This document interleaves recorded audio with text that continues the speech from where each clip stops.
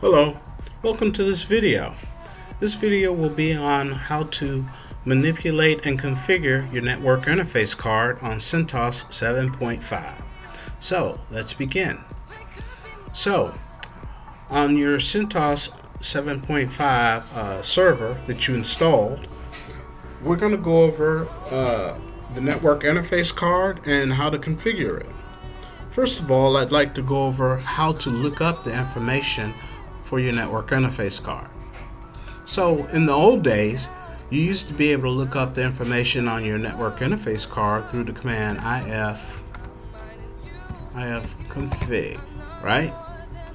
If you want to see all of the interfaces, you would do a minus A, okay? As of CentOS 7, ifconfig, it, it no longer comes default with that uh, operating system. Okay, neither is netstat. Neither one of those commands commands come default with your uh, CentOS 7 uh, install. What you have to do if you want to use those commands is you have to install the package known as net-tools. Okay, and the way you do that, you just use the yum, the yum package manager. And you just do a sudo space yum space install and then net dash tools. All right.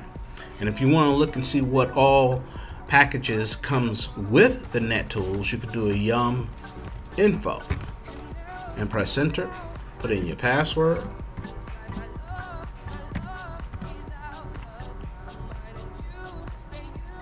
and then it will go ahead and load up and in a few seconds oh there it is it shows you what the NetTools is. NetTools contain basic networking tools such as ifstat if uh, I'm sorry ifconfig netstat route and others. Okay? So if you want to use ifconfig netstat you'll need to install the nettools command. All right? Otherwise you can use the new command that comes with uh, CentOS 7 let's go ahead and clear the screen and that's with the IP command. All right so look up the um, your NIC information or your network interface information. You do an IP space address space show and then you press enter.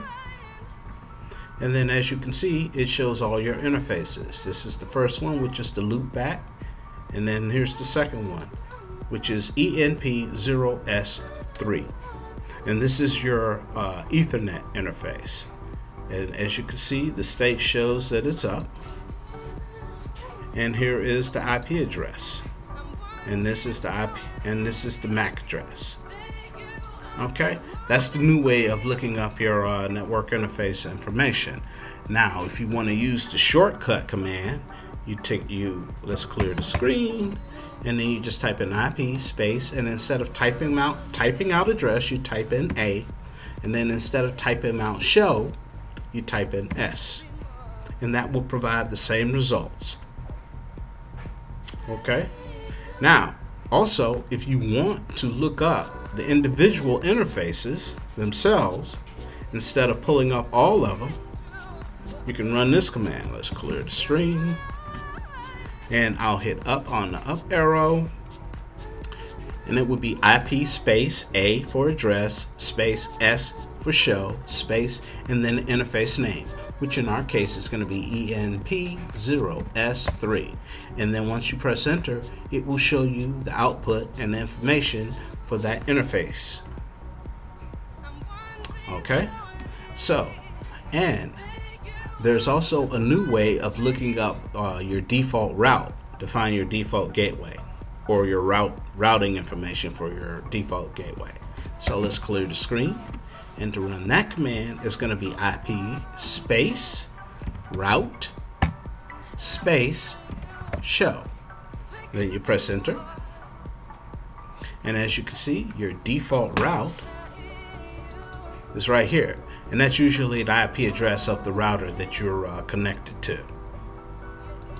Okay, and then the shortcut command to run that instead of the whole command, let's clear the screen. and you'll type in IP space and then R for route and then S for show. And then you press enter. And there you go. Now, one other thing I'd like to go over with today is how to manipulate your um, the IP address that is configured on your uh, on your server. You can either have it set for dynamic IP address or static IP address. With a dynamic IP address, it will eventually change after a certain period of time.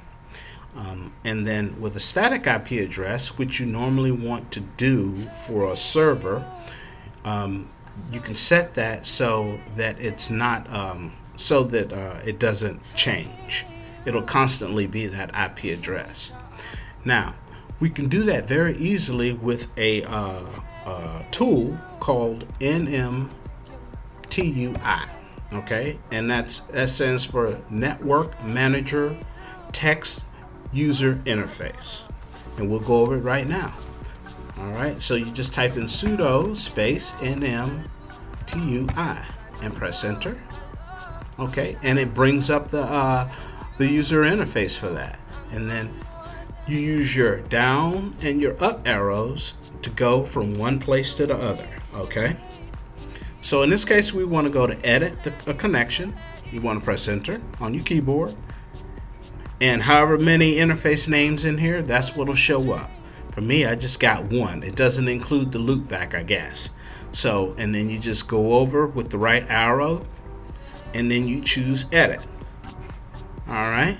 And then in here, you can you know choose the down arrow for all of this stuff here I already have my interface uh, set for static but if you come down to where it shows highlighted in red it shows manual and you press enter originally it was set for automatic. I went ahead and put it into manual. Then I put in my IP address that I was looking that I wanted to put in there right? And then you can click on add if you wanted to add another IP address or if you wanted to you know add another one. And then you put in your default gateway and then your DNS servers. Usually two DNS servers is enough and then once you put in all the changes that you want like these right here or this right here these right here if you want to choose one of them, you got to hit the, uh, the space bar on your keyboard. All right. And if you want to deselect one of them, you just do the same thing. Hit the space bar on your keyboard. Right. And then once you're done, you go to the, you go down to the bottom with your down mouse arrow, or your down uh, arrow on your keyboard, and then you just press enter when you get to OK. All right. And then you come over here and you go down to back and then when you're done I usually go over to where it says okay and then I press okay and then after you're done with that to, again to go ahead and check and make sure your changes uh, took place you just type in IP let's see uh, let's see A S E N P0S3 and of course mine has already been set. And again there is my IP version 4 IP address. So that's how you look at your uh, IP address that's how you look at your network interface and the network interface name and uh, that's how you go ahead and set the um, interface for either static or dynamic and so that's it for this video today. Thank you very much. I appreciate you guys looking at it. Please like and subscribe, and you have a good day. Bye bye.